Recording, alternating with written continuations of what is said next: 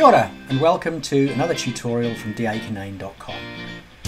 In today's tutorial we're going to take a quick look at how to use the record audio block inside of Scratch so that you can make your own audio recordings that will play on any given trigger that you want inside Scratch. So let's get right into it. I've come to the Scratch homepage here and I'm going to create a new project by clicking on the create option up here. Point to note though, I'm logged in, so anything I create I can save. If you don't log in, you can still create, but you can't save. So it's best if you want to keep your work to make sure you've got uh, an account at Scratch so you can keep your work. So let's click on create. And here's the Scratch interface. Uh, and we're going to be using two blocks today. We're going to first of all use the events block and the first block we want to use is the space block. I'm just going to magnify it here so you can see it. And when you click on the drop down box here, you've got lots of options. Now, bearing in mind we're using a Makey Makey, we've got the space, up, down, right and left arrow here They're the ones we're going to use to start off with. You can use A, B, C and D, etc. if you pin out at the back, but we're not going to do that at the moment. So I recommend you just use space down to left arrow, those five options there. Um, on our example, we're going to click on up arrow. So I've now chosen the up arrow option here. So when the up arrow key is pressed, and the next thing we want to happen is for a sound to play. So I'm going to use this top option here under the sound um, category, and we're going to drag this option out here that says play sound meow until done. Um, you don't want anything else. You don't want the start sound you want to play until done. That's important and that will become important when we do a bit more coding a bit later on.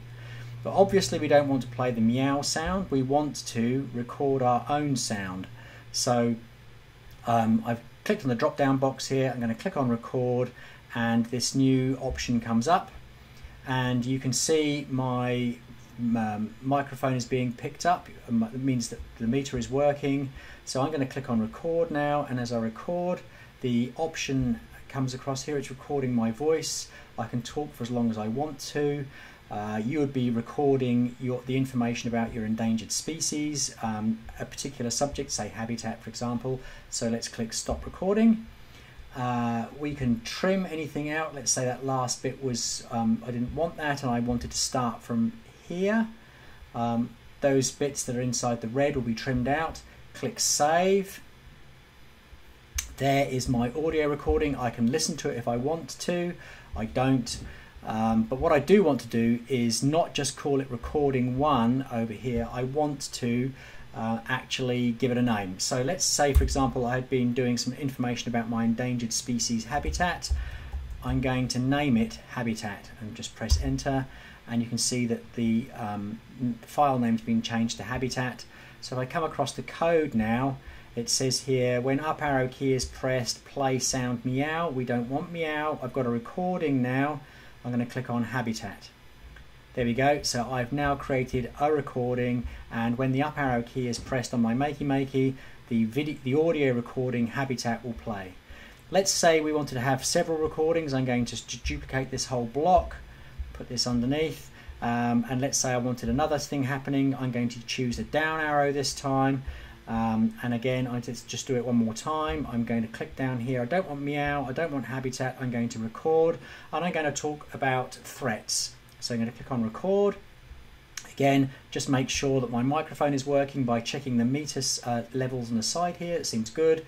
I'm not going into the yellow or the red, so it's not going to be too loud. I'm going to click record and this would be my recording around the threats to my endangered species. Um, and so all the information and research that I've done around that, I'd be recording that. And finally I finished, but I forgot to press click. So this empty space and my last bit of talking, I don't want that, so I'm going to slide that across. Um, let's just say, for example, this was me saying um at the beginning, and that's the recording I want. I can click play to make sure that's what I want to get before I um, save it and click save. Remember, come up, it's not recording one, it is threats. And it's always a good idea to name all of your files, no matter what you're doing, what you expect to find inside that file, be it a Word document, be it a presentation, or in this case, audio files. Press return, it's now threats, come across the code, and again down here, down arrow, habitat, no, we want it to play threats.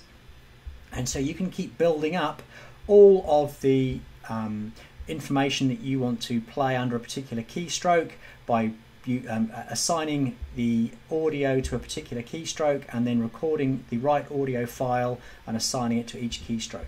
And that's how you can build up um, your audio project uh, using a Makey Makey. Thanks for making it this far through the video. I appreciate your attention. And until the next video, ka kite anō.